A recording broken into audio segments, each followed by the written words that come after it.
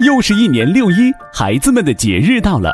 习近平总书记常说：“孩子们成长得更好，是我们最大的心愿。”操场上、教室里、少年宫的活动中，都留下了这位大朋友和孩子们的美好回忆。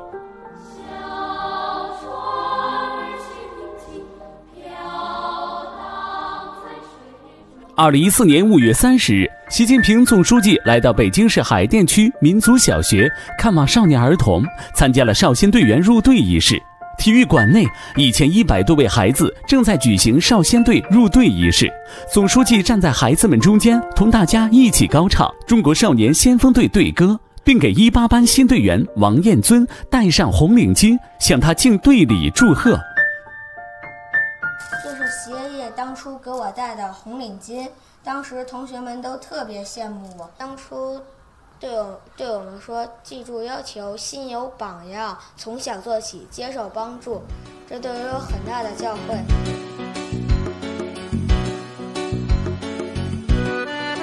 二零一四年四月，习近平总书记来到新疆疏附县托克扎克镇中心小学。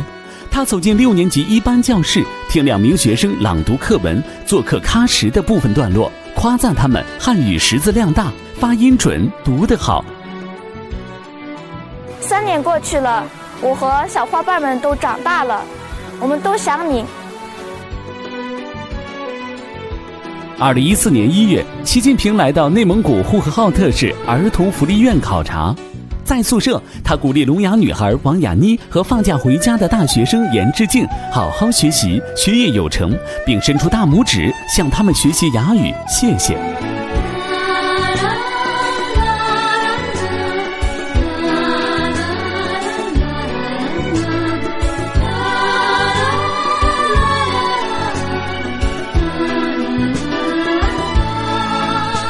二零一六年五月三十日。习近平总书记给大陈岛老垦荒队员的后代、浙江省台州市椒江区十二名小学生回信。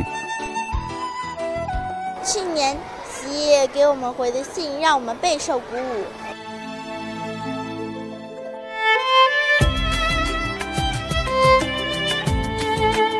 习近平对这所小学有着一份特殊牵挂。一九九五年，时任福州市委书记的习近平发起“千家企业建千校”爱心活动，福州一家企业全体员工捐款五十二万元，对建于一九七四年的延安杨家岭小学进行了重建。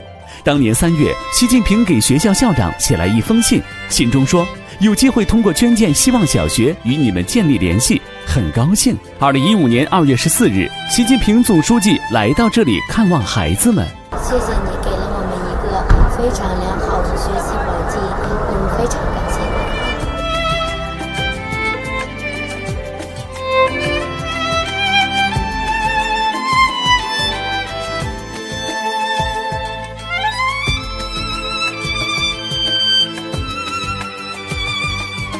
六一儿童节呢，快到了，以大朋友的名义，祝我们呢各位小朋友，祝我们。全国的各族少年儿童节日愉快，六一儿童节愉快。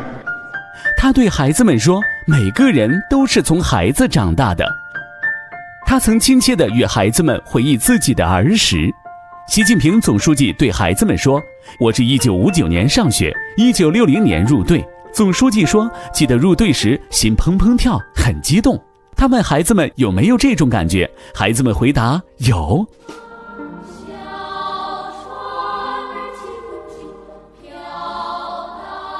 德智体美劳，体育是非常重要的，陶冶性情啊，历练意志。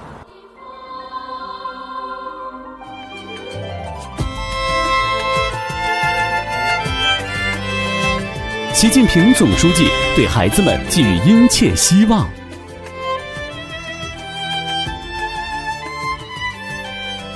时刻准备着，将来要接班啊！有没有这个信心啊？有。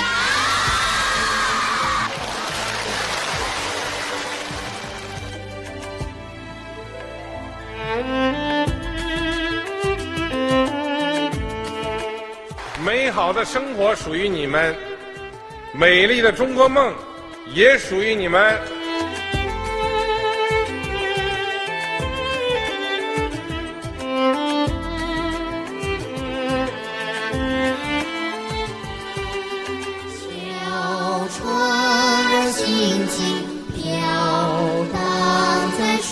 中，迎面吹来了凉。